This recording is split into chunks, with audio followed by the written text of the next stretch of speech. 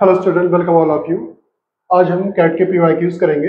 जैसा आपको पता है, ये हमारा थर्ड वीडियो है और चैप्टर हम लोगों ने डिसाइड किया है परसेंटेज और CAT P Y Qs two से I have taken one question and CAT P Y Qs two slot one से I have taken three question तो ये चार क्वेश्चन जो है, ये हम लोग सॉल्व करेंगे और इसके कॉन्सेप्ट को समझेंगे।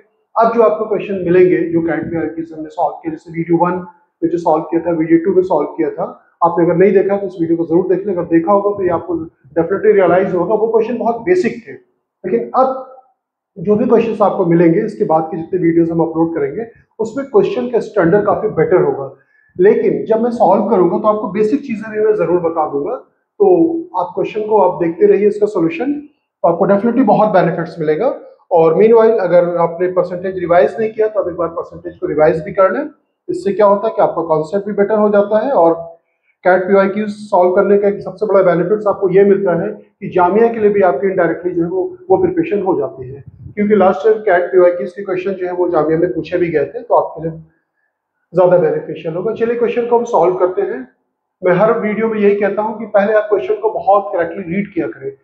जितना अच्छे से आप रीड करेंगे क्वेश्चन आपके लिए उतना ही आसान हो जाता है। तो क्वेश्चन को पहले मैं रीड करता हूँ, आप भी रीड करें। वीडियो पॉज कर दें, उसके बाद क्वेश्चन को रीड करें। और खुद से सॉल्व करने की कोशिश करें। अगर हो जाता तो वेल गुड नहीं होता फिर आप सोल्यूशन देखें। In an examination the maximum the maximum possible score is N यानी कि जैसे आप क्वेश्चन पेपर देते हो, जैसे आपने क्लास नाइन टेंथ में आपने दिया होगा तो मैथ्स के पेपर में जैसे लिखा रहता है मैक्सिमम मार्क्स हंड्रेड तो यहाँ पे ये जो दिया गया वो एन है। मैक्सिमम मार्क्स कितना दिया गया? N while the pass marks is forty five percent of N यानी कि आपका जो पास मार्क है, वो कितना है?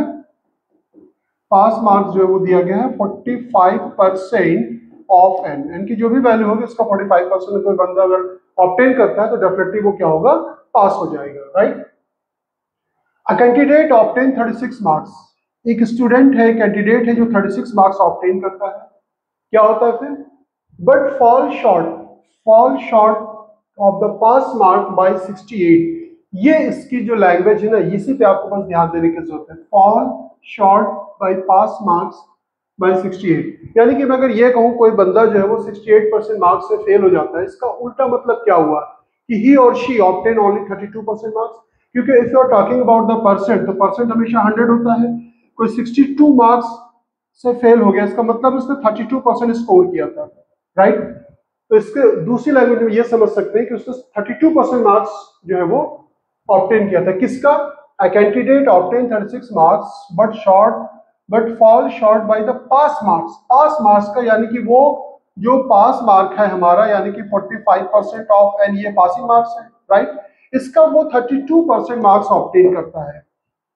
तो उसके मार्क्स कितने हो जाते हैं? 36 के बराबर हो रहे हैं राइट आई थिंक ये लाइन बिल्कुल क्लियर हो जानी चाहिए।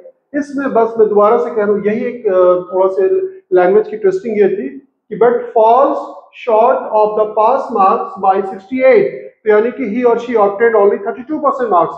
Which one of the following is then correct? कौन सा इसमें से करेक्ट होगा? अब इसी को सिंप्लीफाई कर लेते हैं। बहुत ही सिंपल से। 32 परसेंट का मतलब हमेशा याद रखिएगा, मैंने कितनी बार बताया है, आपके दिमाग में होना चाहिए डिनोमिनेटर में दो ज़ीरो बस ये ध्यान रखिएगा। इसी तरह से यहाँ 45 upon 100 into N is equal to 36 right अब इसको हम सिंप्लीफाई कर सकते हैं। फोर से अगर हम कैंसिल करते हैं तो ये हो जाएगा फोर नाइन जा थर्टी सिक्स, फोर एट जा थर्टी टू। उसके बाद नाइन से इसको कैंसिल कर दें तो ये हो जाएगा नाइन फाइव जा। अब मैं एन को इधर रखता हूँ, इन दोनों हंड्रेड को by using cross multiplication we will take care in numerator hundred hundred divide किससे करना है? एट इंटू फाइव से। फाइव से अगर हम इसको डिवाइड करते हैं तो ये हो जाएगा ट्वेंटी उसके बाद फोर से करते हैं फोर फाइव जा फोर टू जा। टू से इसको कर लेते हैं फिफ्टी। तो फाइव फाइव सा ट्वेंटी फाइव एक ज़ीरो, ये बढ़ जाएगा two fifty that means here we are getting the value of N is two fifty right the value of N is here now two fifty अब now we need to check the option N की value क्या 200 से छोटी या बराबर होगी? नहीं, ये ऑप्शन हमारा नहीं हो सकता। क्यों नहीं हो सकता? Because of the value of N is equal to 250 और सेकेंड ऑप्शन क्या है? एन की वैल्यू 243 से बड़ी या बराबर और 252 252 से छोटा डेफिनेटली ये ऑप्शन हो सकता है। और देखेंगे एन की वैल्यू 253 से बड़ी या बराबर not possible the value of N is greater than equal to 101 and less than 242 ये भी पॉसिबल नहीं होगा। That means B is right option तो इस क्वेश्चन को देखा आपने, सिर्फ़ इसमें क्या था? इस लैंग्वेज की ट्विस्टिंग थी अदरवाइज़ क्वेश्चन बहुत ही सिंपल सा था। और ये पासिंग मार्क्स 45 परसेंट ऑफ़ का 32 परसेंट को अगर ऑप्टेन करता है तो उसको टोटल मार्क्स कितने मिले? 36 आई थिंक ये समझ में आ गया होगा। चलिए अब नेक्स्ट क्वेश्चन लेते हैं। अनदर वेरी गुड क्वेश्चन और ये कॉन्सेप्ट के ऊपर ऑलरेडी मैंने असाइनमेंट में क्वेश्चन दिया है और ये भी काफ़ी बेटर क्वेश्चन है। थोड़ा सा कॉन्सेप्ट अगर आप बिल्ड कर लें या क्वेश्चन की लैंग्वेज को आप समझ लें तो डेफिनेटली इस क्वेश्चन को आप सॉल्व कर सकते हैं। First of all we will read the question very carefully Meena scored 40% of an examination and after her review, even, even though her score is increased by 50% and she fails by 35 marks. पहले हम यहाँ तक इस question को समझने की कोशिश करते हैं, यहाँ तक क्या चीज़ें हैं। ठीक है, हम मान लेते हैं कि let the total marks of the paper be X इसे आप चाहे नोट कर लें एक्स लिख लें एल लिख लें वाई लिख लें वॉट एवर हमने मान लिया कि total marks of the paper क्या है? एक्स पहली कंडीशन क्या? मीना स्कोर 40 परसेंट मार्क्स यानी कि मीना स्कोर करती है 40 percent of x in an examination इतना मार्क्स वो ऑप्टेन करती है। क्या होता है? एंड आफ्टर रिव्यू वो रिव्यू डाल देती है। Even though her score is increase by 50 percent और शी फेल्स बाय 35 मार्क्स जब वो रिव्यू के लिए डालती है तो क्या होता है? 50 परसेंट यानी कि जो उसको मार्क्स मिला था, आप इसका डायरेक्ट प्लस ट्वेंटी ऐड कर सकते हैं, लेकिन मैं आपको समझाने के लिए कह रहा हूँ कि लिख रहा हूँ पूरा फिफ्टी परसेंट ऑफ़ जो मार्क्स ऑप्टेन किया था, उसका फिफ्टी परसेंट और मार्क्स बढ़ जाता है उसका। फोर्टी परसेंट ऑफ़ एक्स ये लाइन समझ में आ रही है आप लोगों को? उसने जो मार्क्स ऑप्टेन कितना किया था? That mean forty percent of X और उसका जब रिव्यू डाल दिया तो उसका फिफ्टी परसेंट जो मार्क्स ऑप्टेन किया था, वो इंक्रीज कर जाता है। तो फिफ्टी परसेंट यानी कि वन बाई टू यानी कि ये ट्वेंटी परसेंट हो जाएगा तो टू से आप डिवाइड करेंगे ट्वेंटी परसेंट फोर्टी परसेंट कितना हो जाएगा? Sixty percent of X right review के बाद उसका स्कोर कितना बन गया? सिक्सटी परसेंट ऑफ़ एक्स इसका जो स्कोर है, वो सिक्सटी परसेंट ऑफ़ एक्स है। लेकिन इतना करने के बाद भी रिव्यू वगैरह डालने के बाद भी क्या हुआ she fails by thirty five marks अब आप थोड़ा सा दिमाग पर ज़ोर डालें, कोई बंदा, कोई आपका फ्रेंड सर्किल में है, आपके कॉलेजेस में, कहीं भी कोई पढ़ रहा है, अगर वो 35 मार्क्स से फेल हो रहा है, क्या मतलब हुआ? कि अगर जो मार्क्स उसने रिव्यू के बाद उसका स्कोर हो गया 60 परसेंट ऑफ़ एक्स उसको अगर हम 35 मार्क्स दे दे तो वो पास हो जाएगा कि नहीं? यही मेन चीज़ इसको समझने की ज़रूरत है। जो रिव्यू के बाद उसका स्कोर हुआ वो, उसमें क्या हुआ? 35 मार्क्स से वो फेल हो गई। ठीक है? तो हमने क्या किया? 35 मार्क्स उसमें ऐड कर दिया तो वो एग्जैक्ट पास के बराबर होगी ये पहली कंडीशन थी इस कॉन्सेप्ट के ऊपर, जामिया में भी, कैट में भी दो बार क्वेश्चन दो तीन बार क्वेश्चन पूछा गया है। इस कॉन्सेप्ट को आप समझ लीजिएगा। कोई बंदा अगर फेल हो रहा है, जितने नंबर से, दस नंबर से कोई फेल हो रहा है अगर आप दस नंबर उसको ऐड कर देंगे तो वो पास हो जाएगा। तो ये कॉन्सेप्ट मैं यूज़ कर रहा हूँ। If her post review post review यानी कि अब जो उसका मार्क्स था sixty percent of X post review score जो है वो क्या है? Sixty percent of X if her post review score is increase by twenty percent post review score जो है उसका वो कितना इंक्रीज कर रहा है वो? 20 परसेंट इंक्रीज कर रहा है। तो ये 60 परसेंट ऑफ़ एक्स तो था ही। इसका 20 percent of post review score 60 percent of X increase हो रहा है। Increase by 20 percent, she will have seven more marks than the passing score. जो पासिंग स्कोर है, उससे सात नंबर वो है, ज़्यादा ले आती क्या मतलब हुआ? कि अगर वो जो सात नंबर ज़्यादा है, अगर हम इसमें से इसको माइनस कर दे तो क्या होगा? वो अगेन पास के बराबर होगी कि नहीं? आप ध्यान समझने की कोशिश करें। पोस्ट रिव्यू स्कोर हमारा क्या है? 60 परसेंट ऑफ़ एक्स उसका सिर्फ़ 20 परसेंट और बढ़ा दिया जाता है। तो वो जो रिक्वायर्ड पासिंग मार्क्स उससे सात मार्क्स ज़्यादा लेकर के आती है। तो इसका मतलब ये हो गया कि अब अगर ये सात हमने माइनस किया तो अगेन वो पास मार्क्स के बराबर है। यानी कि अगर हम इसको इक्वेशन नंबर वन मान लें, और इस पी को मैं यहाँ लिख दूँ आपको समझाने के लिए, ये ये भी अगेन पास मार्क्स के बराबर हुआ, और ये इक्वेशन नंबर हमारा टू हुआ। अब हम दोनों को इक्वेट कर सकते हैं कि नहीं? आप ध्यान से देखिए, दोनों अब पास मार्क्स के बराबर हो गए। ये फेल था सॉरी ये फेल थी, इसको 35 मार्क्स दे दिया गया। और ये पास मार्क्स से क्या है? ज़्यादा सात मार्क्स ले आई। तो इसमें से माइनस कर दिया गया, दोनों कंडीशन तो अब नाउ वी कैन इक्वेट ठीक है, इसको मैं मिटा देता हूँ। इसको मैं यहाँ लिख लेता हूँ, शायद ज़रूरत पड़े sixty forty percent of X इसको मैं मिटा देता हूँ। अब दोनों को इक्वेट कर देंगे। यानी कि ये हमारा कितना हो जाएगा? 25 परसेंट का मतलब होता है कितना? वन बाई फाइव इसको डिवाइड करेंगे तो कितना आ जाएगा? ट्वेल्व और सिक्सटी यानी कि ये आ जाएगा हमारा sixty two percent of X और ये है माइनस सेवन और इसकी वैल्यू को हम क्या लिख सकते हैं यहाँ पे? 60 जो value 60 percent of X plus 35 समझने में कोई दिक्कत नहीं आना चाहिए। अब दोनों स्कोर हमारा पास मार्क के बराबर है। अगर ये अलग अलग दो स्टूडेंट होते, यानी कि दोनों पास हो गए, दोनों पास के बराबर मार्क्स है तो दोनों को इक्वेट किया मैंने। तो पहली कंडीशन के हिसाब से पास मार्क्स किया, दूसरी कंडीशन के हिसाब से ये दोनों को इक्वेट कर दिया।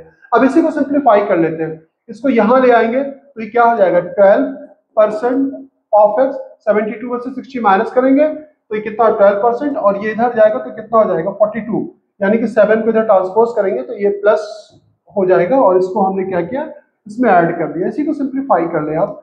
ट्वेल्व परसेंट यानी कि twelve upon hundred of X equal to forty two अब आप इसे सिंप्लीफाई करें तो एक्स की वैल्यू क्या हो जाएगी? Forty two into hundred divided by twelve तो आप इसको थ्री से करते थ्री फोर जो हो जाएगा और ये जगह थ्री वन जा थ्री फोर जा और फोर ट्वेंटी फाइव जा तो ट्वेंटी फाइव फाइव फोर जा हंड्रेड हो जाएगा टेन रिमेनिंग और twenty five twenty five thirty five यानी कि टोटल जो एक्स की जो वैल्यू हम लोगों ने निकाली, वो कितनी निकाल? नौ, यानी कि जो क्वेश्चन पेपर था, वो कितने मार्क्स का था? 350 मार्क्स का था. आई थिंक ये आपको समझ में आ गया होगा आसानी के साथ. और अब हमारा क्वेश्चन अभी सॉल्व नहीं हुआ है. यहाँ से अगेन रीड करें. क्या कह रहा है? Then the percent score needed for the passing examination is कितना परसेंट मार्क्स परसेंट निकालने का मैंने आपको सिंपल सा तरीका बताया है कि कभी भी परसेंट मार्क्स निकालना हो, जो मार्क्स उसने ऑप्टेन किया वो, यानी कि पासिंग मार्क्स हम ये कहें, हमें पास परसेंट निकालना है, पास मार्क्स को डिवाइड करना है टोटल मार्क्स से मल्टीप्लाइड बाई हंड्रेड परसेंट हमारे पास टोटल तो है टोटल क्या है? यहाँ पे मैं लिख लिख रहा हूँ three hundred fifty into hundred percent अब हमें पास मार्क्स चाहिए अब हमारे पास दो इक्वेशन था। दोनों में से कहीं पे भी पुट करते, हम हम आसानी के साथ जो है पास मार्क्स निकाल सकते थे, चाहे यहाँ पुट कर दे, चाहे यहाँ पुट कर दे। तो मैं इक्वेशन वन में एक्स के स्पेस पे 350 पुट करूँगा और देखूँगा कि पास होने के लिए कितना मार्क्स रिक्वायरमेंट है। आप चाहें तो यहाँ भी पुट करके आप निकाल सकते हैं। एज योर विश लेकिन आप वैल्यू वहाँ पुट करके निकाला करें। लीनियर इक्वेशन में ये होता है, जो इक्वेशन आपका आसान हो, ये पी है। तो ये हो जाएगा 60 परसेंट, यानी कि अपॉन हंड्रेड इंटू एक्स की वैल्यू कितनी है? 350 प्लस ये हो जाएगा हमारे पास 350 इसी को हमें सिंप्लीफाई करना है। देखिए, ये ज़ीरो ये ज़ीरो ये ज़ीरो कैंसिल हो गया और सिक्स फाइव सा थर्टी हो गया। सिक्स थ्री सा एटीन एटीन और three two hundred ten plus thirty five इसको जोड़ लेंगे तो कितना हो जाएगा? Two forty five I think ये आपको समझ में आ गया होगा। बस आपको करना क्या है? जो पास मार्क्स है उसको यहाँ पे पुट कर दीजिए। 245 इसी को आप सिंप्लीफाई कर ले, आपका आंसर हो जाएगा। और फाइव ज़ीरो से ज़ीरो कैंसिल हो जाएगा फाइव टू जा हो जाएगा फाइव सेवन जा हो जाएगा सेवन से इसको कैंसिल कर सकते हैं सेवन थ्री जा हो जाएगा ट्वेंटी वन और आपका यहाँ पे बचेगा three thirty five seven five सा thirty five thirty five two सा कितना हो जाएगा सेवेंटी परसेंट तो जो पास मार्क्स कितना था seventy percent is there any option D is right answer ये बहुत अच्छा कॉन्सेप्ट है। इस कॉन्सेप्ट को आप बैठा ले। इस कॉन्सेप्ट के ऊपर आपको आगे भी कई क्वेश्चंस मिल सकते हैं। Jamia M U CAT C MAT वगैरह में आपको डेफिनेटली मिल सकता है। तो आई थिंक ये आपको समझ में आ गया होगा। चलिए अब नेक्स्ट क्वेश्चन सॉल्व करते हैं। चलिए नेक्स्ट क्वेश्चन हमारा है। ये भी कैट स्लॉट 2019 से हमने लिया है। बहुत से तीन क्वेश्चन आए थे? In in in a class 60 percent of the students are girls and rest of the boys यानी कि जो गर्ल्स होंगी टोटल स्ट्रेंथ को हम हंड्रेड मान लेते हैं तो गर्ल्स कितनी होंगी? 60 और बॉयज़ रेस्ट बॉयज़ है तो यानी कि बॉयज़ कितने हो जाएँगे? 40 टोटल स्टूडेंट को हमने हंड्रेड माना गर्ल्स 60 तो हम बॉयज़ लिख लेते हैं बॉयज़ कितने हो जाएँगे? 40 there are thirty more girls than boys यानी कि गर्ल्स और बॉयज़ का डिफरेंस कितना है? थर्टी है राइट तो परसेंट का डिफरेंस कितना है? सिक्सटी से फोर्टी जाएगा तो ट्वेंटी यानी कि twenty percent is equal to thirty के बराबर है वन डिवाइडेड बाई ट्वेंटी। ये चीज़ आपको समझ में आ रही है यूनिटरी मेथड हमने यूज़ किया ट्वेंटी परसेंट परसेंट में ट्वेंटी है और नंबर्स में थर्टी दोनों बराबर one percent divided by twenty अब नंबर ऑफ़ गर्ल्स कितनी है? सिक्सटी है तो सिक्सटी से मल्टीप्लाई कर देंगे तो ये हो जाएगा थ्री सा, यानी कि आप गर्ल्स का नंबर हो गया 90 अगर हम दूसरी, दूसरा पेज पे अगर हम लिखना, दूसरे पेज पे लिखना चाहें तो गर्ल्स अब कितनी हो गई? 90 और बॉयज़ कितनी होंगी? ऑब्वियस यहाँ पे आप 60 की जगह पे अगर आप 40 लिखेंगे तो ये टूजा हो जाएगा, यानी कि बॉयज़ कितने हो जाएँगे? 60 अब यहाँ पे, जहाँ पे मैंने 60 पुट किया है, यहाँ पे आप बॉयज़ का परसेंट 40 है 40 पुट करने के बाद 20 से डिवाइड करेंगे टूजा हो जाएगा टू थ्री सिक्स यानी कि बॉयज़ अब क्या हो गए सिक्सटी हो गए। तो आई थिंक आपको समझ में आ गया होगा, और ये बहुत आसान सा कॉन्सेप्ट होता है यूनिटी मेथड आसानी के साथ आप कर भी सकते हैं।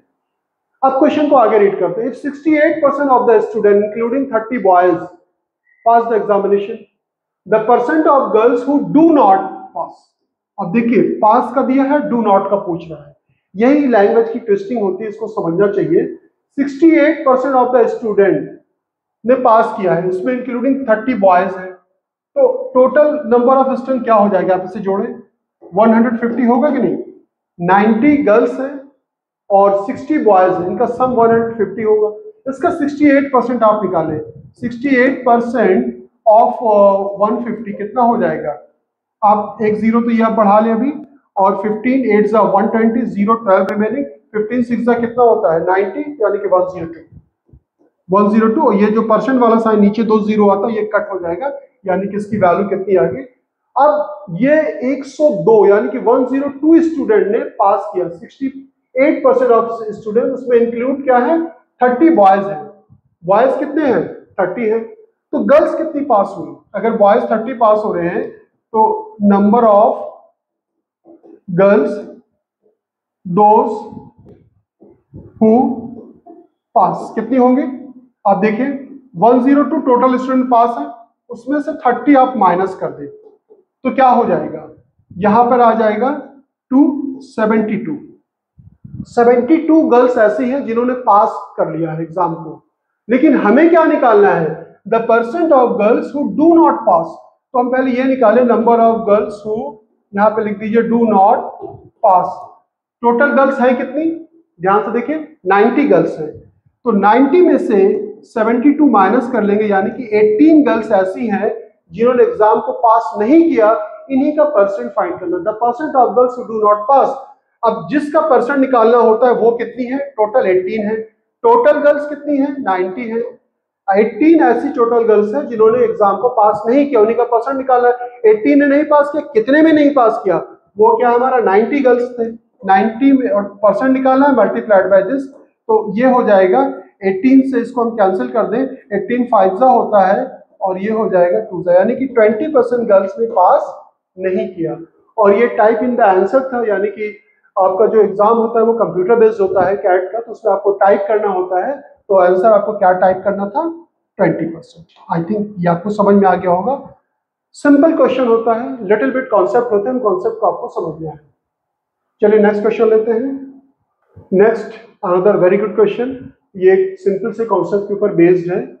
और इसको पहले क्वेश्चन को रीड करते हैं। द इनकम ऑफ़ अमाला आप नोट डाउन आप एक बार पहले नोट क्वेश्चन को वीडियो को पॉज करके रीड क्वेश्चन को रीड किया करें। फिर सॉल्व करने की कोशिश किया करें।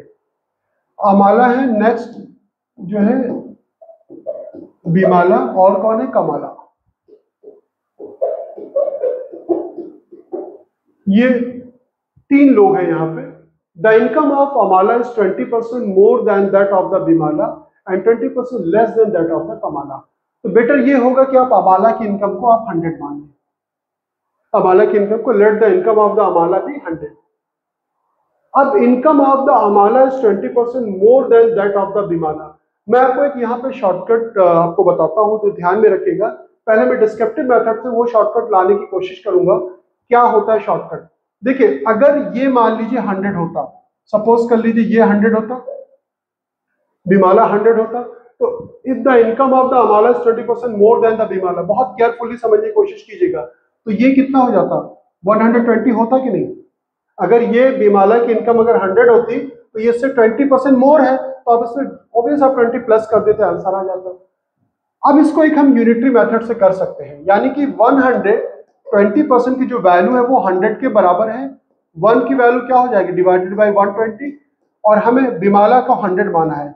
यानी कि हमें ये ये वैल्यू ये इस तरह से इसकी कैलकुलेशन करना चाहिए। तो आंसर आ जाएगा। तो ये हो जाएगी बीमाला की इनकम जो भी होगा, इसका अगर आप 20 परसेंट लेस करेंगे ठीक मोर करें सॉरी इसका 20 परसेंट अगर आप मोर करेंगे तो अगेन यू विल गेट 120 एक तरीका तो ये है।